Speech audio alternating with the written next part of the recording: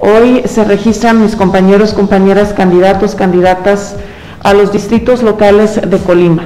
Entre ellos tenemos hombres y mujeres y jóvenes también que representan a la sociedad, que representan a la fortaleza de estas tres fuerzas políticas, que representan a las mujeres que han trabajado mucho tiempo por gestionar beneficios para sus colonias, sus comunidades.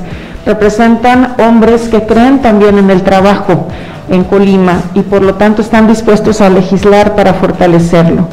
Representan también a hombres y mujeres jóvenes que tienen esta maravillosa oportunidad de ser legisladores y desde su perspectiva juvenil también ayudar a construir lo mejor para Colima.